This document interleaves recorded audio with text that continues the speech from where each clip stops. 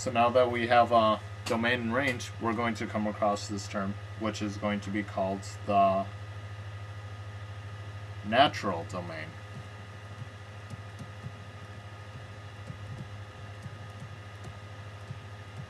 And that's actually kind of what we saw in the example that I did before.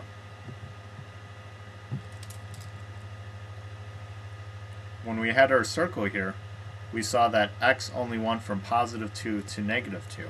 That was actually our natural domain. And the definition of this is for any values well, let me read it straight out of the book. If a real valued function is a real variable, is defined by a formula, and if no domain is stated explicitly, then it is to be understood that the domain consists of all real numbers for which the value formula yields a real value. This is called the natural domain of the function. And what I left out when I defined the actual domain in the range is that we can specify what our value of x is. When our function is uh, let me rewrite here, equals the square root of 4 minus x squared. We can say that x is between 0 and positive 2. This would be defining the domain.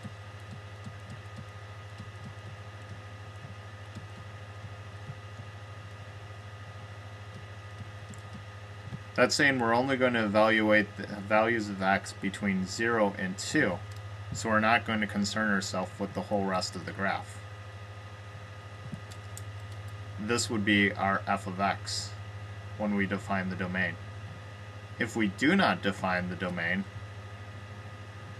then you graph the entire function from negative infinity x to positive infinity x, and whatever values of x describe the function is the natural domain.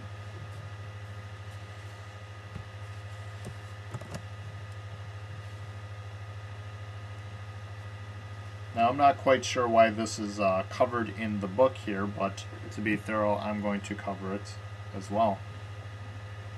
The absolute value function.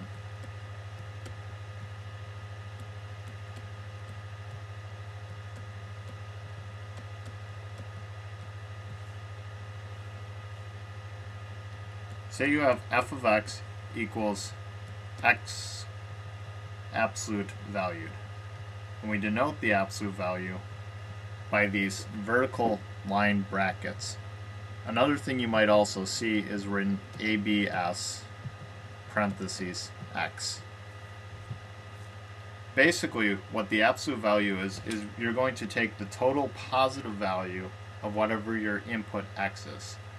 So if you were to input f of 2, obviously the positive value of 2 is 2. But if you're going to input f of negative 2, the total value of negative 2 is still 2. You don't include the negative direction in this, it's always the positive value. And that's what our absolute value function does. So your graph for um, the function f of x, let me change my color here, f of x equals x would be a straight vertical line. However, your graph for the absolute value of x would still be your straight vertical line in the positive x-axis, but it's going to go the other way for the negative x-axis. Instead of continuing on, it's going to actually change direction. But this follows what we did before. When we put in positive 2, we got the value positive 2 back out of our equation. And when we implemented negative 2, we got positive 2 as the y value back out of the equation as well. So that's just uh, the absolute value x. If you ever have a negative number, you just throw the negative right out of it. Now there's going to be some operations that we need to be familiar with for this. and this is the one that I've already stated. The absolute value of negative a equals positive a.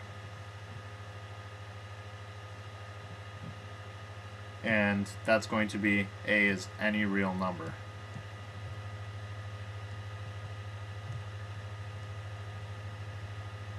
The absolute value of negative a equals the absolute value of a. The absolute value of a times b equals the absolute value of a times the absolute value of b. And b is also a real number. The absolute value of a divided by b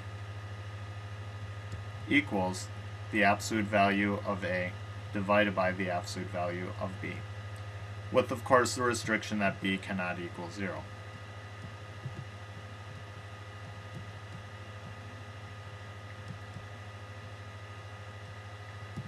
Notice that restricting that b cannot equal 0 is part of our domain. Well, we basically are saying b can be any value as long as it's not 0. We're stating the domain. And the last rule we need to be familiar with, the absolute value of a plus b is less than or equal to the absolute value of a plus the absolute value of b. And I'm going to neglect doing the derivation of that, but that is known as the triangle inequality.